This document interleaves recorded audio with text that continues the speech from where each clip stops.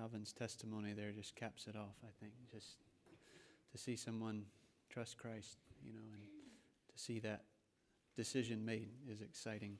I can say that I told Morris Gleiser, could tell that he was really constrained to preach that message that spoke to your heart. And went up to him afterward and I said, I could tell that that was difficult for you. And he said it was. I really felt like the Lord wanted me to, to preach that. And that was the reason. Uh, the Lord wanted to do something in Alvin's life, and I think some others as well uh, trusted the Lord. So we praise the Lord for that. Psalm 37, and we're going to look at two verses here in a moment. I grew up going to camp, um, went down to North Carolina to the wilds many times, and the Lord worked in my heart many times down there would come back uh, to church and share, much like the teens just did, what the Lord did in my heart. And the thing that is often whispered and even we struggle with coming back from camp is how's this going to last? How's this going to, is my life truly going to be changed? Is God really after doing something permanent in my life? And it's a real struggle that we face. And it, it's not just a struggle with, when you go away to Wisconsin or North Carolina or anywhere else a Christian camp is. It's a struggle that we face in Cedar Rapids. Um, maybe the Lord dealt with you about something several weeks ago, and you, you're sitting here and you're like, oh, yeah, the, I remember that. You know, the Lord taught me that. And what have I been doing? And, and you, you feel like things are, are lost somewhat. And this verse uh, has encouraged me greatly. And but for, first of all, I want to tell you that the decisions that you make anytime in your Christian life, God takes great interest in. Uh, I can tell you one decision I made at camp that the Lord never let me come back from, and that is uh, I decided in 1996 that I was going to surrender my life to serve the Lord full time in the ministry. And by God's grace, here I am. The Lord has brought me to that point. And it's because of the verse we're about to read Psalm 37 23. The steps of a good man are ordered by the Lord, and he, that is God, delights in his way. Though he fall, he shall not be utterly cast down, for the Lord upholds him with his hand. I want us to see two things about godly decisions very briefly this afternoon. The first of all, first thing I want us to see is the nature of the decisions of a good man. The decisions of a good man. It says good man there. You'll see that it's in italics. Um, a man that is good in Scripture is not someone who is just on their best behavior. A good man we know this, is a man with God's righteousness. Uh, righteousness is basically meeting God's expectations. And none of us can meet God's expectations. And so, therefore, none of us are righteous by ourselves, but God has taken it upon Himself. He saw that we would not make it, that we would not meet His expectations. And He sent His Son, Jesus Christ, who died on the cross and was buried and rose again and met God's every expectations, not for his own sake, but for my sake, for my, on my behalf. And he's willing, as Alvin said, to give me that slate, to give me that righteousness. And he takes my slate, he takes my wickedness. And I can now, in God's eyes, be called a good man. Not because I'm a good man, I'm not a good man, but because Jesus Christ is a good man on my behalf righteousness has been imputed to my account. Romans 4 talks about. It also says in Romans 10 9 and 10, He who has believed on Jesus and called on his name has been saved. Whoever calls on the name of the Lord, we're told, shall be saved. So, for those of us who have called on the name of the Lord, and I trust that's everyone here, God looks at us and he says, That's a good man. That's a good lady. Not because we're good, but because He's good. And these truths can be true, these statements can be true of us in verse 23. The steps of a good man, a good woman, a righteous man, a righteous woman are ordered by the Lord. what are the steps that he's talking about? Steps are a series of decisions and circumstances in which we find ourselves. We make decisions all the time, whether we're going to, uh, whether we're going to, you know, have chocolate ice cream or vanilla ice cream, which is not a really hard decision at all. But um, you know, it's always chocolate. But um, whether we're going to have you know, whether we're going to go to college or not, where we're going to go to college, whether we're going to get married or not, who we're going to marry, and these types of things. And those decisions, some of those are massive decisions, and they're very important decisions. They're steps. You know the name George Mueller, he was the preacher uh, a couple centuries ago that began orphanages for homeless children in the streets of London. And he trusted God to provide for those homeless children in his orphanage. He didn't have, he wasn't a man of great wealth. He had nothing.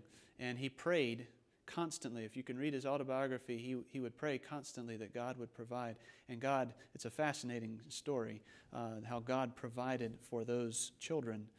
An answered prayer from George Mueller. George Mueller wrote in his Bible next to Psalm 37 23 the steps of a good man are ordered by the Lord. George Mueller penciled into the margin the steps and stops. The steps and the stops of a good man are ordered by the Lord. Meaning, a good man is walking, and sometimes God says, Stop, don't take another step. I'm going to I'm going to tell you what to do. And we have to wait on the Lord. We don't know the step that we're to take, and it's frustrating sometimes. But Mueller needed to know that. He needed to remember that the steps and the stops of a good man are ordered by the Lord. We, also, we often must simply stop and just wait on the Lord to make the way clear. But those decisions that we make, those steps that we take or don't take, it says, are ordered by the Lord. They're ordered. It means they are established by the Lord. Matthew Henry writes, by God's providence, he overrules the events that concern, that concern the uh, righteous men and women so as to make their way plain before them, both what they should do and what they expect, what they may expect. Observe, God orders the steps of a good man.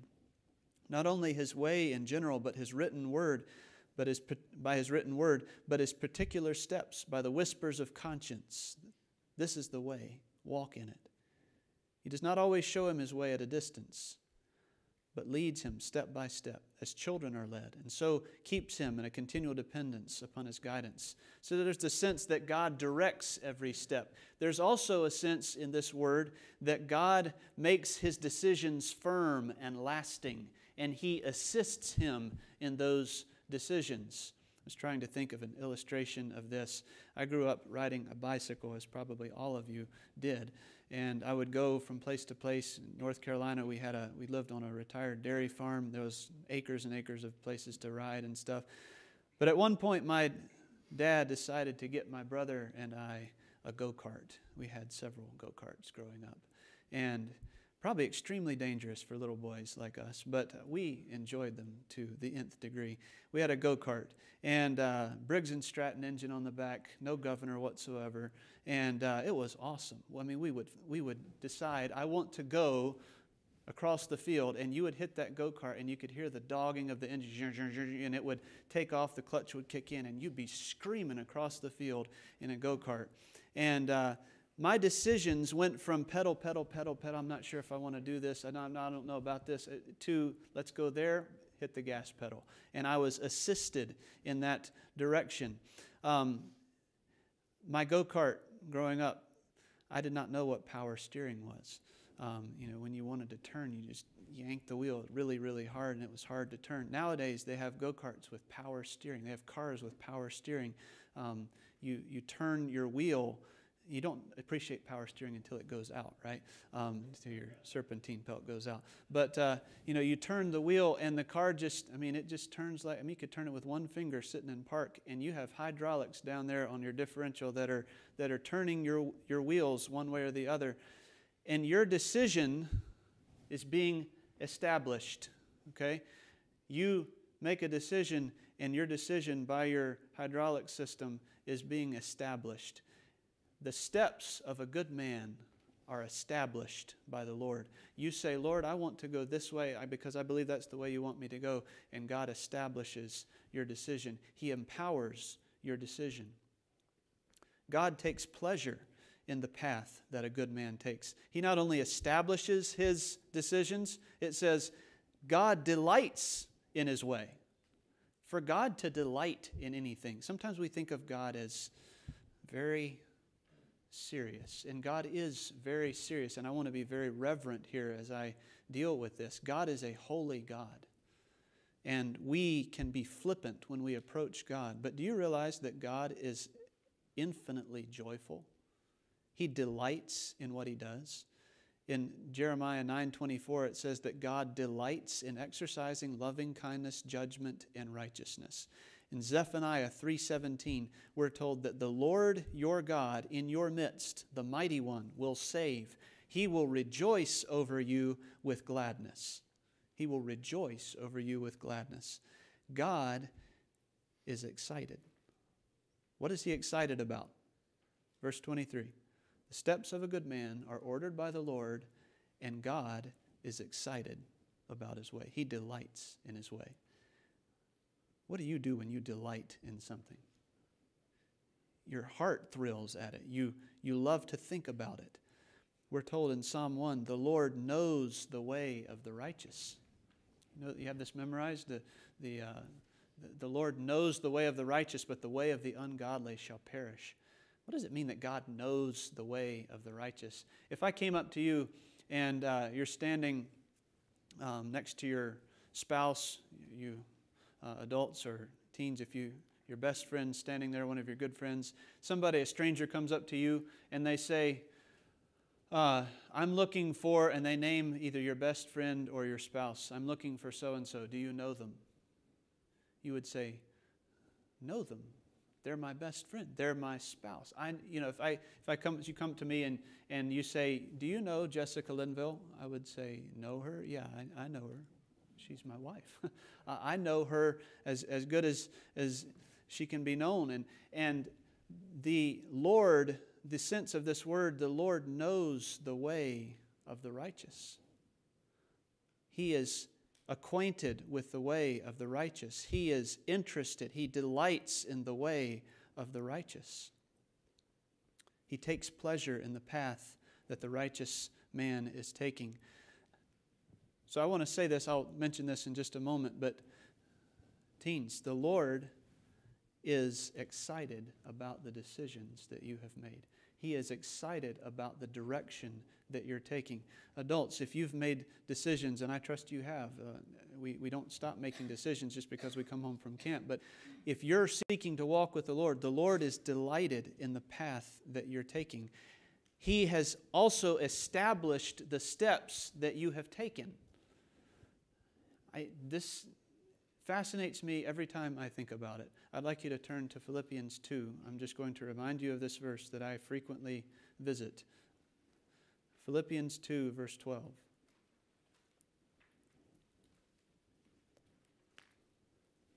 The steps of a good man are ordered by the Lord. He delights in his way. God establishes our steps. This is what it means Verse 12, Philippians 2. Therefore, my beloved, as you've always obeyed, not as in my presence only, but now much more in my absence, work out your own salvation with fear and trembling.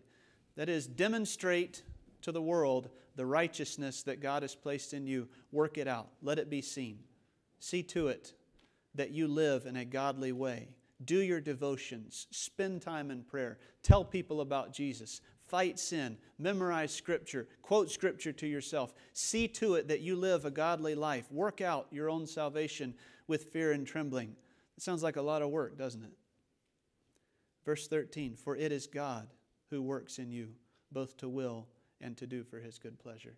I got news for you. If you decided to draw closer to Jesus Christ at camp, teens, over the past few weeks, adults, if you decided to draw closer to Jesus Christ, to fight sin, to draw nearer to God, guess who decided that? Guess who initiated that?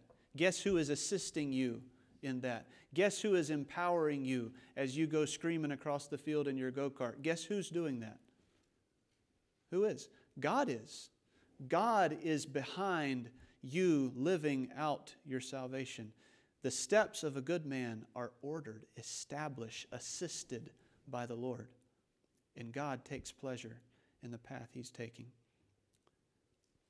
Not only the decisions of a good man, but secondly, let's see the deliverance of a good man. The last part, the next verse says, Though he fall, though he fall, he shall not be utterly cast down. How many of you have made a decision and failed at your decision? Can I see your hands? Okay, all of us. All right. The deliverance of a good man. Failure is never final for a good man. For a righteous man, with God's righteousness, failure is never final. Paul made a statement. You can look at it in 2 Corinthians 4 9. I'll read it to you here. 2 Corinthians 4 9. Paul is cataloging his struggles. And he says, But we have, verse 7, but we have this treasure in earthen vessels that the excellence of the power may be of God and not of us. We are hard pressed on every side, yet not crushed. We are perplexed, but not in despair. What does it mean to be perplexed? You got a synonym, synonym, synonym for that? Okay, confused, puzzled. I think we could probably get frustrated when we're perplexed. Does that sound right? Some of you try to be sanctified, you know, you're, you're frustrated. It's like, I'm just perplexed, okay? Um, Paul says, I'm perplexed, but not in despair. Not in despair. I could be in despair, but I'm not in despair. I'm persecuted, but I'm not forsaken. I'm struck down, but not destroyed. Always carrying about in the body the dying of the Lord Jesus, that the life of Jesus also may be manifested in our body. What he's saying here is, I am cast down, but not destroyed. I'm perplexed, but I'm not in despair. I have fallen, I've stumbled in something, but I'm not laying on my face in the dirt. I'm not destroyed.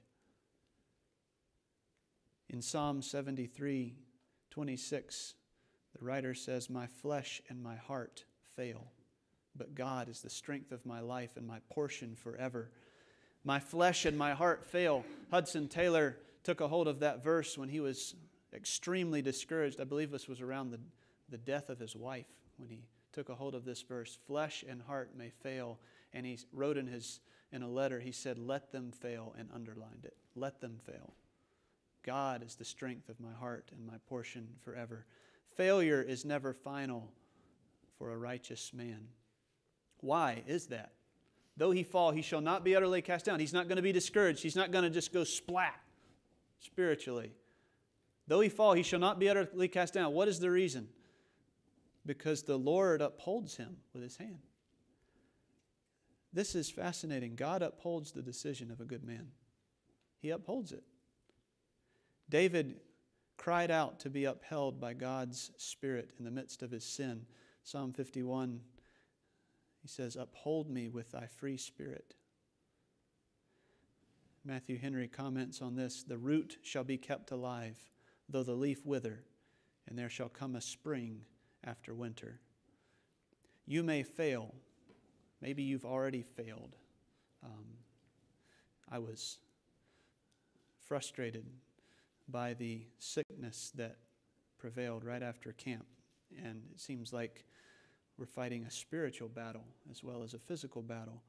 Satan wants you to fail. Satan wants you to lay flat on your face. And it's not unique to teens, it's not unique to any of any person here. I myself yesterday as early as as recent as yesterday was discouraged extremely about a particular thing.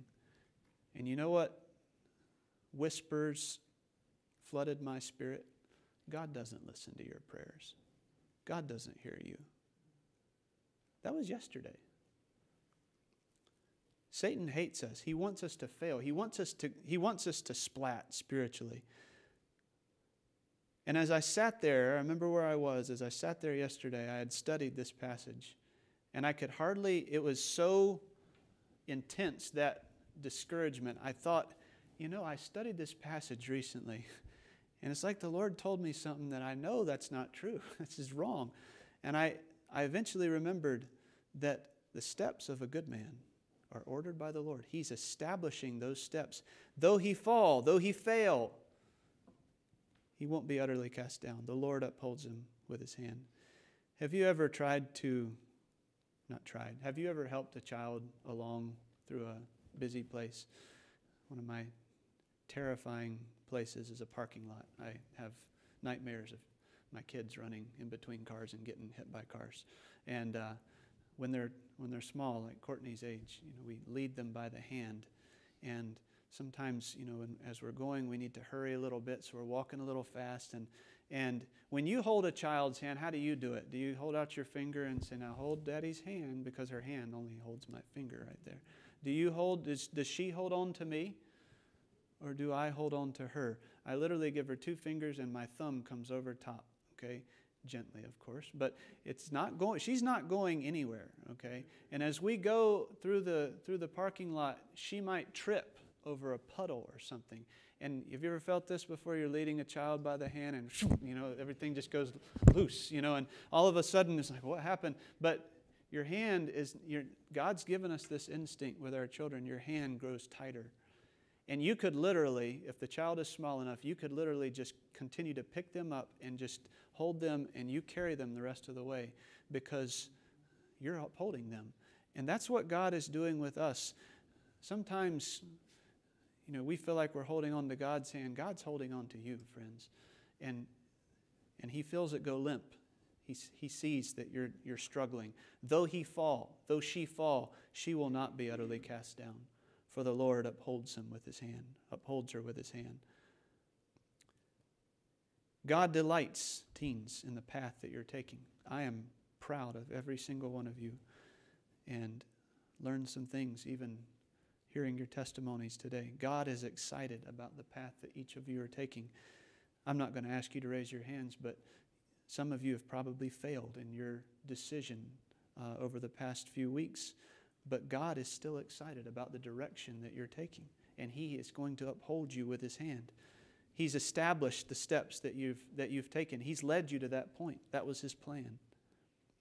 And He'll uphold you in your failure if you continue in this direction. Every single one of us in here, God is upholding you with His hand. And He's delighted, He's delighted with the direction that you're taking. Let me just challenge you if there should be someone in here today who you're not headed God's direction. I don't know, I have any idea who you are let me just challenge you there is nothing like walking with the Lord and heading, heading his direction and having God delight in your, in your life, delight in the direction that you're taking. Give your life to the Lord. You heard it, I don't know, five times over from the teens. Give God the entire throne of your life. Don't hold out on the Lord. You will not be disappointed. Let's pray. Lord, we thank you for establishing our steps Thank you that you empower our steps and that you delight in the direction that we're taking. I pray that as some may stumble this week, Lord, that they would truly discover that you are with them, that they will not be utterly cast down, for you uphold them with your hand. And we thank you, Lord, for your goodness. Thank you for your faithfulness to us. Lord, if there's someone here struggling, Lord, we have, we feel burden for them. There's a sense in which they even know the direction that they're headed is not the, the direction that you would have for them. Lord, would you give them repentance that they may recover themselves out of the snare of the devil, that you would lead them to a full experience of your goodness. Thank you, Lord, for this time. In Jesus' name, amen. We're going to turn to 91. We sang this right before the message. We're going to turn to the, uh, the steps of a good man are ordered by the Lord. 91, let's stand together as we sing.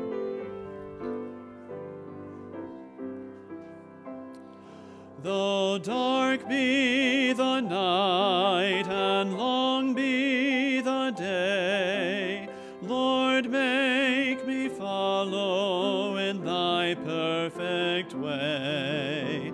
Though cometh sorrow, though great be my pain, Lord, make me serve thee, come sunshine or rain. The steps of a good man are ordered by the Lord, and he delighteth in his way. Though he fall, he shall not be utterly cast down, for the Lord,